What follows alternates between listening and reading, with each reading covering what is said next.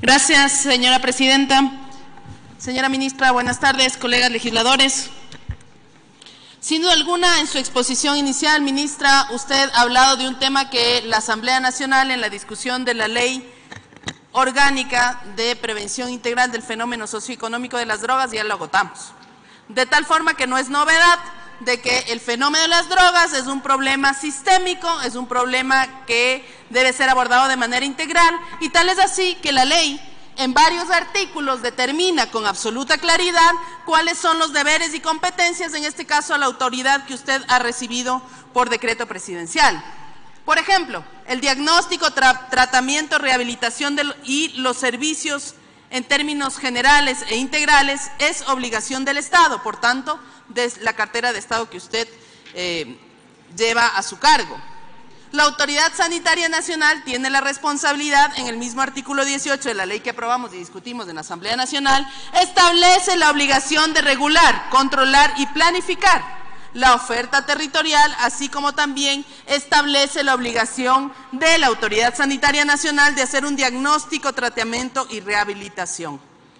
Por tanto, señora ministra, es importante que digamos aquí que no es que hace falta la ley de salud, que sin duda alguna es una necesidad en temas de sanción probablemente, pero en términos de atención, que es lo que la sociedad ecuatoriana está demandando, no hace falta una ley aparte de la ley que aquí en esta Asamblea Nacional se discutió y que aquí en esta Asamblea Nacional se aprobó.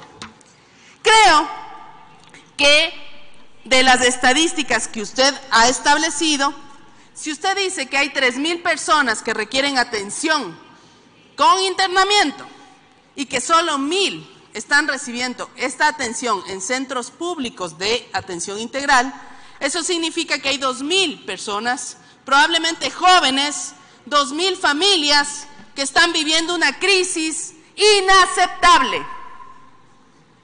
No creo que sea su responsabilidad exclusivamente, señora ministra. Pero creo que es una urgencia y de esa forma trató esta Asamblea Nacional el problema integral de las drogas. No solo por el triste hecho lamentable, que además fue motivo de resolución a, futuro que se discutirá desde esta Asamblea sobre este tema, sino efectivamente el tema de la droga y de la H especialmente en poblaciones como la de la provincia del Guayas, ha sido una preocupación y una alarma de la sociedad ecuatoriana hace ya varios años. De hecho, desde esta asamblea aprobada y en registro oficial octubre de 2015. ¿Qué quiere decir? Que hemos tenido 2015, 2016, 2017, 2018, 2019 para implementar lo que dice aquí en la ley manda a que exista un sistema integrado. Señora ministra, no se trata solo de los recursos. Créame, la especialidad que yo tengo, que es en medicina familiar, aparte de la, por supuesto, la carrera, la especialidad de medicina familiar, nos habla con claridad que hay que invertir de una vez por todas la pirámide. No podemos seguir construyendo hospitales si la atención primaria de salud no es eficiente, no es eficaz, no se garantiza una atención preventiva a los ciudadanos y ciudadanas. ¿Qué sacamos con seguir teniendo elefantes blancos que no resuelven la población el problema básico de la salud? Si es que siguen siendo nuestras enfermedades las prevenibles, si es que los efectos de los ingresos en las entidades de salud mayoritariamente son las enfermedades prevenibles. Primera causa, diabetes. Segunda causa, hipertensión, infartos.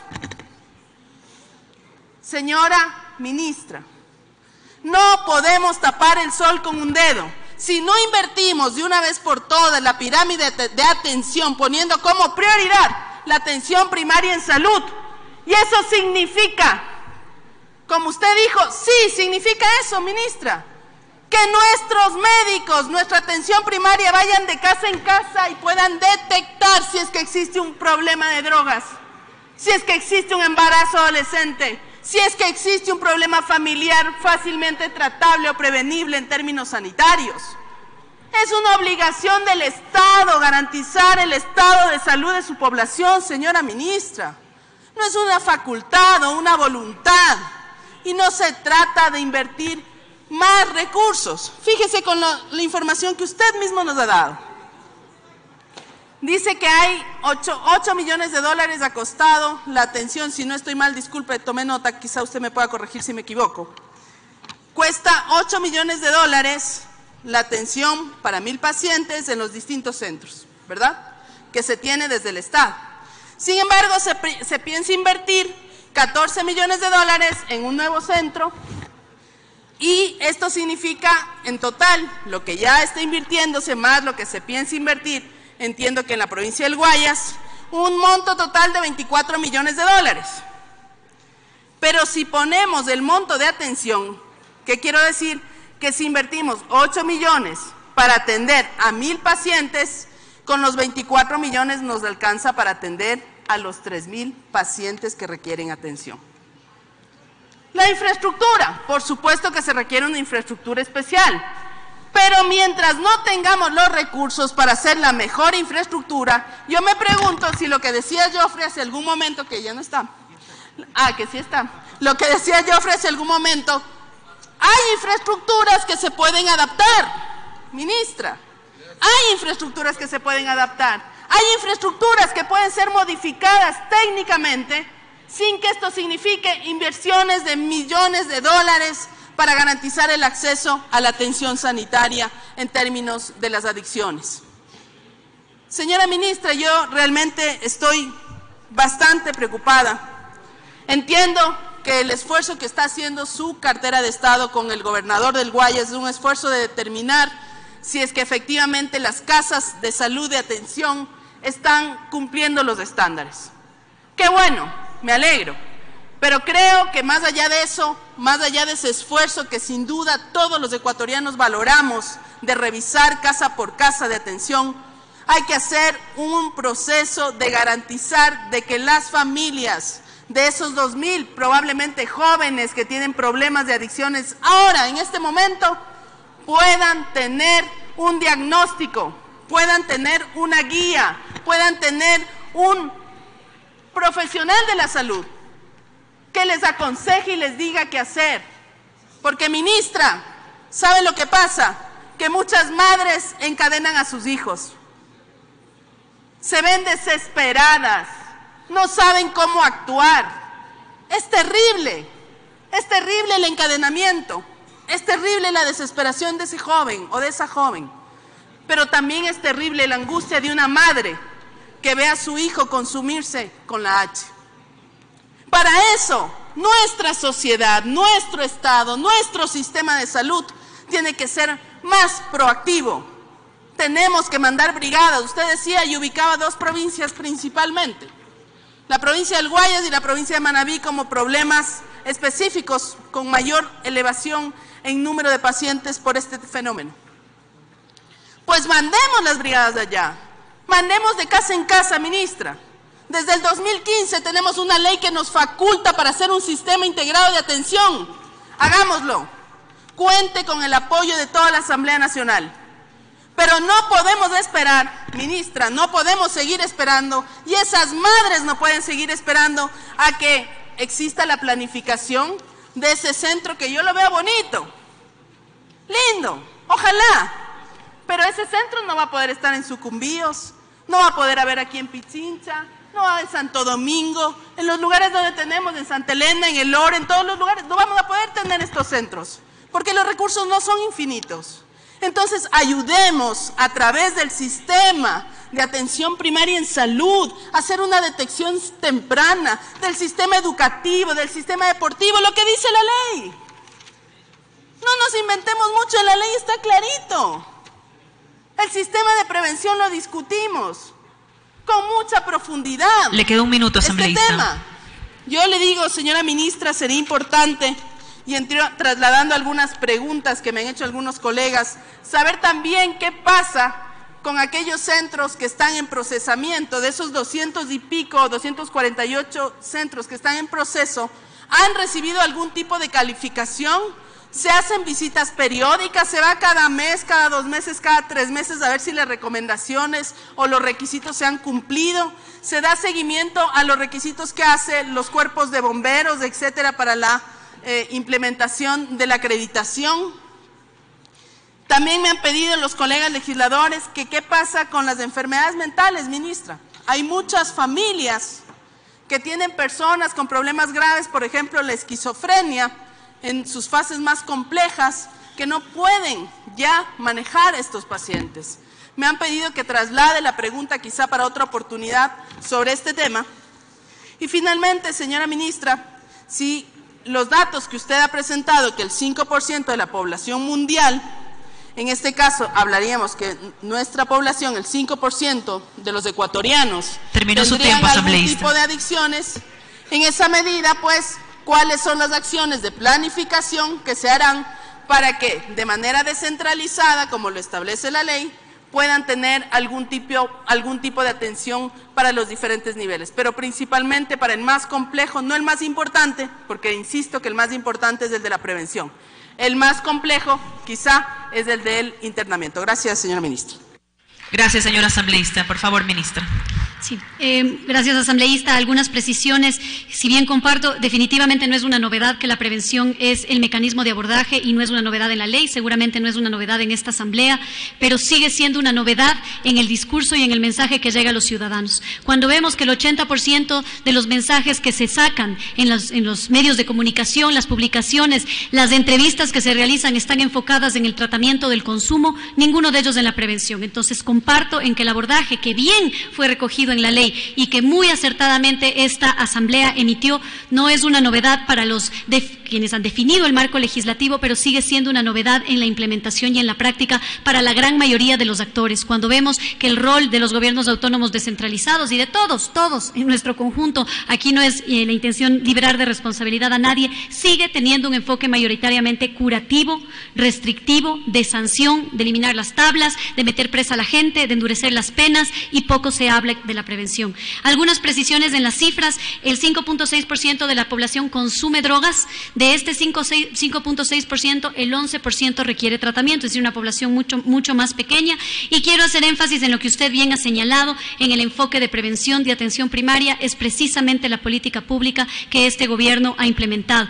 Es por eso que lanzamos la iniciativa del médico del barrio, en donde los médicos familiares que ya se formaron aquí en este país y que antes no podían formarse, como su caso que tuvo que formarse en el exterior porque esa especialidad ni siquiera era considerada en nuestro país, hoy es la especialidad que más médicos forma en el país. Y tenemos el médico del barrio que se asienta en los pilares de la formación de la medicina familiar y de la atención primaria en salud. Esta estrategia se ha desplegado en todo el país, todavía seguimos avanzando, pero en provincias donde tenemos mayor preocupación, y ahí corrijo, las provincias más eh, con mayor eh, prevalencia de consumo de H son Guayas, Santa Elena y después Manabí, es donde más hemos desplegado esta iniciativa de atención primaria, porque compartimos absolutamente. No es un problema del consumo de drogas. La familia donde hay consumo de drogas también hay hipertensión, también hay consumo de alcohol, también hay otros problemas de salud, problemas de salud mental muchísimas veces. Y esto está siendo atendido. Uno de los grupos vulnerables que el médico del barrio capta son los problemas de salud mental y los víctimas de violencia. Y estamos yendo, así como usted lo menciona, casa por casa, hasta llegar a cada rincón del país. Eh, la infraestructura que se puede adaptar compartimos absolutamente, tenemos un plan y un proyecto de implementación de CETATS. Eh, sin embargo, más allá de la infraestructura, recordemos que el, el gasto más fuerte y más sensible es el gasto operativo. Podemos crear el centro, pero si no garantizamos los recursos de operatividad, el pago de los profesionales, luz, agua, teléfono, alimentación, no nos alcanza. Entonces, es, como les decía, un problema de sostenibilidad que va más allá de utilizar la infraestructura que ya existe, aunque reconocemos que esa es la forma. Varios de los CETATS, no sé si ustedes conocen, en el CETAD de Gualaceo, perdón, el CETAD de Otavalo, era la casa de Caranqui, que fue confiscada y ahora destinada para el tratamiento de drogas, eh, un poco una, muestra simbólica de que estamos optimizando la, infraestructura que ya existe. Eh, finalmente, eh, yo comparto muchísimo el abordaje que se ha planteado del diagnóstico, el tratamiento y la responsabilidad del Estado. Creo que en buena medida las madres que no han tenido la oportunidad de buscar otras alternativas para sus hijos, que los llevan amarrados, que los forzan, que los encierran contra su voluntad, tenemos que preguntarnos si en realidad responde, por un lado, a que no hay suficientes servicios o a que no hemos difundido la información adecuada de que ese tipo de centros no son la solución. Si a cualquier madre se le dice la solución es encerrarlo, amarrarlo y meterlo en un centro, Independientemente de que hay otras alternativas, si esa es la visión que se difunde, esas van a ser las acciones que las madres tomen. Tenemos que asegurarnos que las familias, que esas madres como cualquier madre, que yo también soy madre y, entiendo la desesperación que pueden tener, van a tomar cualquier decisión por muy equivocada que sea. Tenemos que lograr que ellas sepan que estos servicios están disponibles. Muchos de nuestros centros no tienen su capacidad sobresaturada. Tenemos camas. Sin embargo, esa conexión para que la familia busque el servicio porque piensan que les van a cobrar, porque piensan que es más fácil tenerles cerca de sus propias casas en sus barrios y hay que ir rompiendo esos mitos y para eso eh, comprometo su participación en difundir esta información a las madres. Y quiero decirle que comparto asambleísta, nosotros tenemos la responsabilidad, el Ministerio de Salud Pública, así lo dice nuestra Constitución. Y el Ministerio de Salud Pública, no sé si me ayudan con la lámina del crecimiento que hemos tenido en nuestra capacidad instalada, me atrevería a decir que el volumen y la velocidad con la que hemos in incrementado la capacidad instalada para el tratamiento de este tipo de problemas es incomparable en la región de las Américas. Por supuesto que todavía no alcanzamos a ese tope, pero en el número de años desde que existe la política de salud mental, que es del año 2014 hasta acá, en pocos países se han implementado tantos servicios públicos, tantas camas para el tratamiento eh, eh, intensivo y tantos espacios para el tratamiento ambulatorio como en el Ecuador. Asumimos esa responsabilidad con compromiso y eso es lo que estamos haciendo. No se puede esperar que se pueda alcanzar el máximo deseable. De hecho, pocos países en el mundo cuentan con la oferta completa para todo su volumen de problemática, pero todos los países avanzan y al ritmo que el Ministerio de Salud Pública avanza, creo que es algo que debe reconocerse. No estoy hablando solamente de mi gestión, estoy hablando del ritmo y el trabajo que se ha llevado a cabo para formar a estos profesionales por parte de las universidades, para involucrar a los médicos psicólogos clínicos en estas actividades. Es el trabajo de muchos actores que están cumpliendo la ley y que están caminando hacia este objetivo que nos ha encomendado el, Poder Legislativo, estas atribuciones al Poder Ejecutivo. Ahí está el incremento, como ustedes ven, es un incremento tremendamente grande. De 74 a 473 camas en apenas cuatro años. Solo en el año pasado se inauguraron cuatro centros, ampliando significativamente. No sé si es suficiente, seguro que no. Somos personas eh, que nunca nos cansamos y que creemos que nos falta mucho por hacer en el Ministerio de Salud, pero creemos que sí hemos hecho mucho y creemos que estamos yendo en la celeridad también que la realidad del país nos permite y creemos que necesitamos el apoyo de otros actores. Probablemente podamos poner a operar muchos más servicios si es que el sector privado se nos suma, si es que los medios de comunicación se nos suman, si es que los sistemas de voluntariado nos apoyen. Ese es el llamado. Queremos avanzar más rápido y hoy más que nunca necesitamos de la convergencia de los esfuerzos de todos. Muchísimas gracias, señora presidenta.